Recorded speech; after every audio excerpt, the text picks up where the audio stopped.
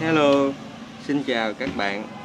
Trước mặt của các bạn đang xem đây là chiếc xe cái chó đèn của Honda Địa Lăng Vị khách hàng này ở Tây Ninh nha các bạn. Gửi chó đến shop mình làm. Thì à, vị khách hàng này nâng cấp lên là Billet Billet Get Magic 1.0 các bạn nha. Đây, Billet Get Magic 1.0 các bạn. Đó. Nha. À, Vị khách hàng này chơi là vòng thiên thần màu đỏ.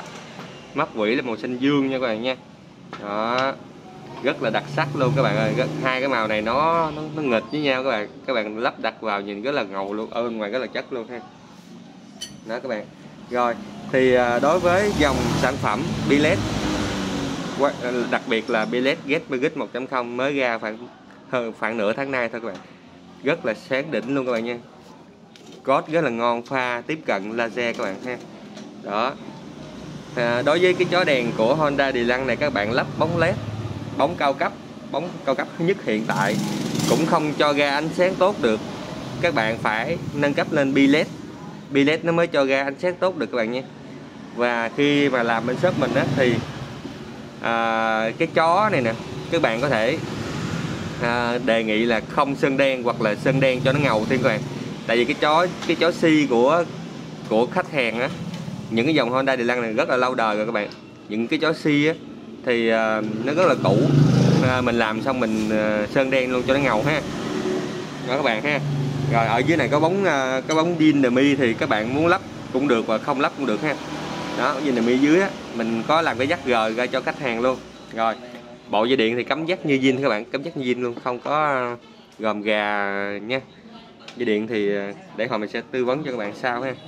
Rồi mình gửi hàng về thì ờ, chủ yếu là làm kỹ cho khách hàng dễ lắp đặt nhất luôn các bạn ha. Đó các bạn. Để hôm mình sẽ xử cái độ độ sáng trong shop mình cho các bạn xem nè ha. Rồi à, bạn nào có nhu cầu làm xin liên hệ shop mình địa chỉ là 235C đường Phan Anh phường Bình Trị Đông quận Bình Tân các bạn nha số điện thoại là 034 666 9686 ha. Cửa hàng mình tên là độ đèn xe máy Son Anh. Các bạn hãy kết nối Zalo số điện thoại trên đây để mình tư vấn cho các bạn kỹ hơn khi trước khi lắp đặt nha các bạn nha rồi ok. Mở code mình luôn mở code mình luôn. Code này các bạn. À, code nè ok mở pha đi. Pha này các bạn ha. Pha tiếp cận laser các bạn nhé. Nó giống như là phiên bản laser đó các bạn. Đó ok cái là đẹp luôn. Tắt tắt tắt pha chào bác sĩ ban ngày bác sĩ ban ngày quá đỉnh luôn các bạn ơi. Rồi ok tắt đi. Rồi bây giờ mình sẽ mở uh, sơ sơ cho các bạn thấy trong shop mình đối với độ sáng của Billet Get Magic 1.0 thì mình cũng đã thử ở bên ngoài rồi, rất là nhiều rồi. Có thằng bạn. Đó. Tuy là vào chó, nhưng mà độ sáng cũng cho ra độ sáng rất là tốt các bạn nha. Rồi, mở pha mình luôn đó, pha tiếp cận laser các bạn, để mình chỉnh xuống một tí xíu rồi. Đó. Có đây có đây đó, pha. Pha tiếp cận laser đó các bạn ha. Nó giống như là laser đi các bạn ha giống như vậy thôi nha không phải là laser các bạn nha.